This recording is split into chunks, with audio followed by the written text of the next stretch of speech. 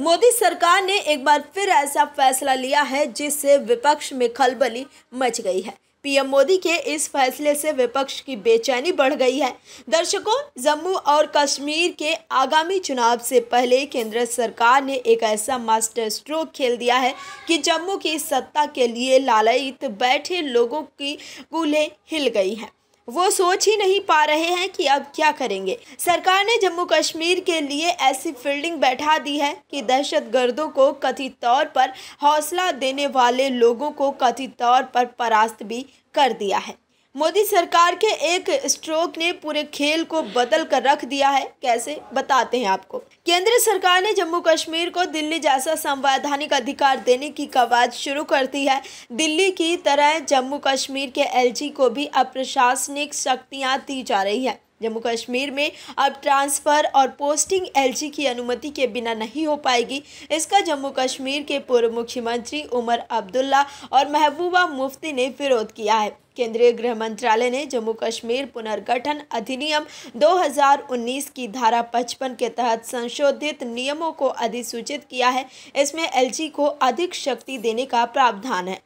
इसमें नई धाराएँ जोड़ी गई हैं। जानकारी के मुताबिक केंद्र सरकार द्वारा शुक्रवार 12 जुलाई 2024 को एक अधिसूचना जारी की गई। अधिसूचना में कहा गया है कि जम्मू कश्मीर के उपराज्यपाल को आईएएस और आईपीएस जैसे अखिल भारतीय सेवा के अधिकारियों के तबादलों और पोस्टिंग, पुलिस कानून और व्यवस्था के साथ साथ न्यायिक अधिकारियों की नियुक्ति के मामलों में अधिक अधिकार मिलेंगे।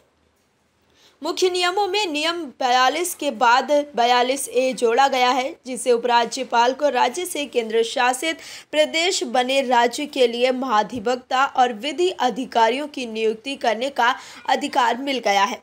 बयालीस भी ये भी स्पष्ट करता है कि अभियोजन स्वीकृति देने या अस्वीकार करने या अपील दायर करने के प्रस्ताव भी एलजी द्वारा ही दिए जाएँगे। आपको बता दें कि जब से जम्मू कश्मीर का पुनर्गठन हुआ है, तब से वहाँ चुनाव नहीं हो पाए हैं, मगर जब भी सरकार का गठन होगा, तब सबसे अधिक शक्तियाँ राज्यपाल के पास होंगी। ये शक्तियाँ ऐसी ही हैं जैसे दिल्ली के एलजी के पास होती हैं। इस फैसले के बाद उमर अब्दुल्ला ने आलोचना की है। नेशनल कॉन्फ्रेंस के नेता उमर अब्दुल्ला ने कहा है कि एक और संकेत है कि जम्मू कश्मीर में चुनाव करीब है।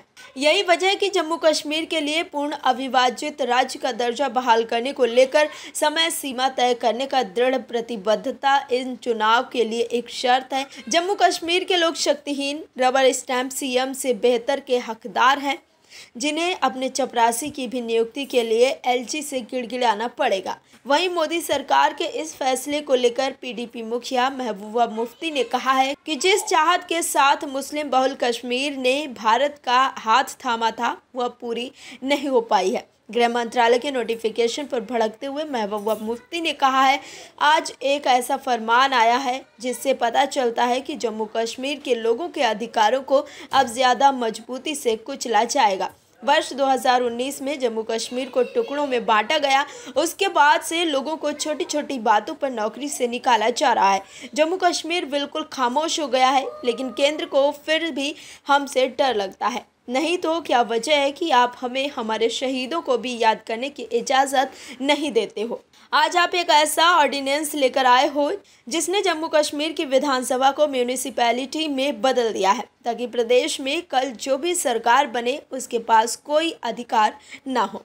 ब्यूरो रिपोर्ट ओ न्यूज़ और भी वीडियोस देखने के लिए चैनल को सब्सक्राइब करें और बेल आइकन को दबाएँ।